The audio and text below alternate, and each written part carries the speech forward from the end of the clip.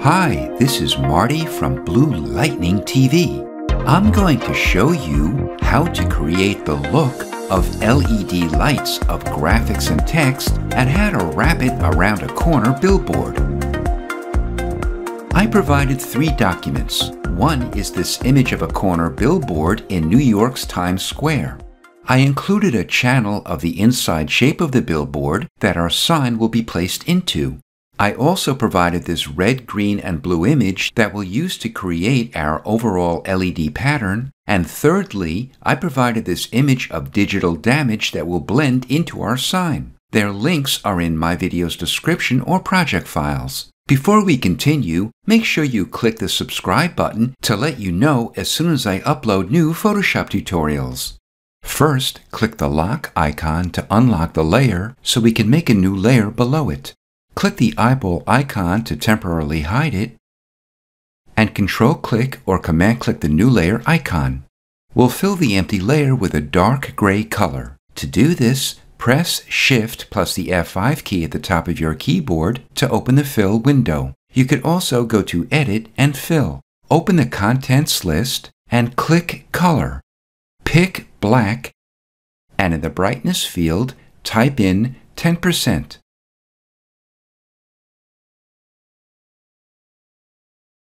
Open your horizontal type tool and pick a font. Bolder fonts work the best for this effect. I'll make the size 100 points, but feel free to adjust this amount depending on the font you choose and the amount of characters in your text. Make the radius smooth and center alignment. If the box isn't white, click it and when the color picker opens, pick white. Click on your document and type out your text. To center it on your document, open your Move tool and press Ctrl or Command A to select the entire document and Ctrl or Command C to copy your text. Click the Align Horizontal Centers icon and the Align Vertical Centers icon. Deselect it by pressing Ctrl or Command D. Double-click an empty area of the text layer to open the Layer Style window. Click Outer Glow.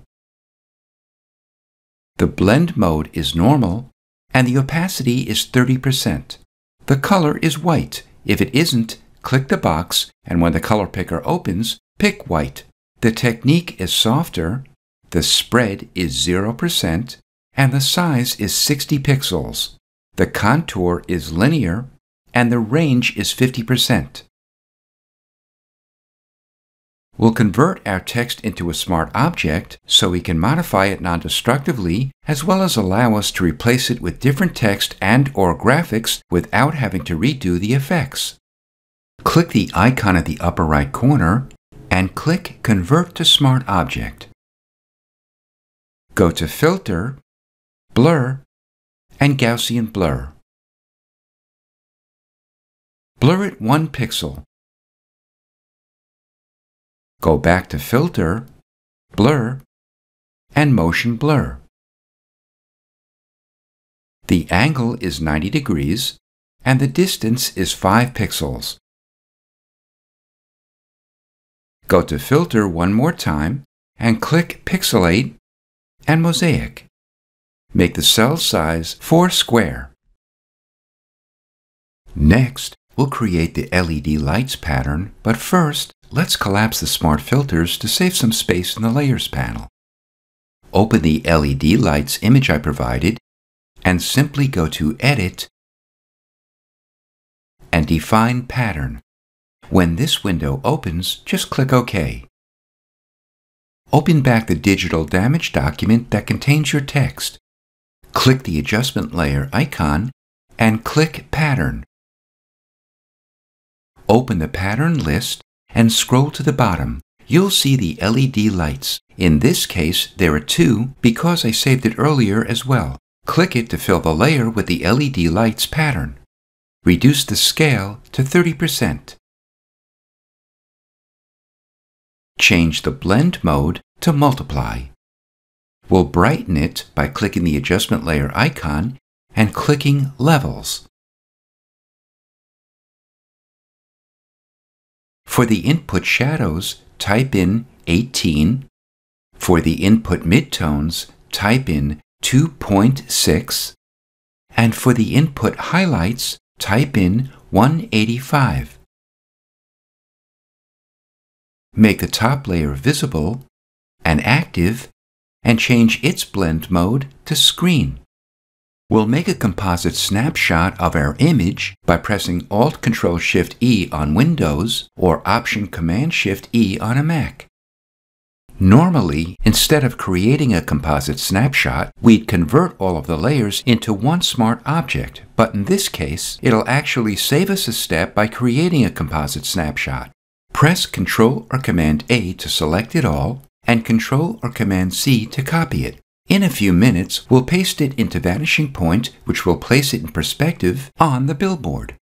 Open the billboard image and click the New Layer icon to make a new layer. In this empty layer, we'll be placing our LED light sign. Go to Filter and Vanishing Point. I did an in-depth tutorial on Vanishing Point, so if you'd like to watch it, I provided its link in this video's description. Zoom out by pressing Ctrl or Command and the minus key on your keyboard a couple of times. To delete old grids, just press the backspace key. Place your cursor here at this corner of the billboard. Click and release. Place your cursor here and click to make your first line of the grid. Release and click here to make the second line. Then release and click here, which is approximately the point where the corner of the billboard would be if the top of our image wasn't cropped off. We'll extend the grid to the other side of the billboard. To do this, go to the middle anchor point, and when you see this small white box with a black grid in it, press and hold Control or Command as you drag it out.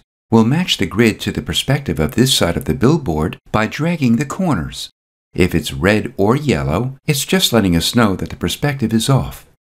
Go anywhere inside the grid and press Ctrl or Command V to paste our image into it. Drag it inside the grid until it changes its perspective. If you want to make your sign bigger or smaller inside the confines of the billboard, drag it over until you see a corner and click the Transform tool icon. Drag the corner out or in. Then drag it into position and click OK to accept it. Notice our sign is on a separate layer. Open the Channels panel. If you don't see it, go to Window and Channels. Control-click or Command-click the thumbnail of the Alpha 1 channel to make a selection of its shape. Open back the Layers panel and click the layer mask icon to make a layer mask of the selection next to the LED light sign. The layer mask softens the edges of our sign.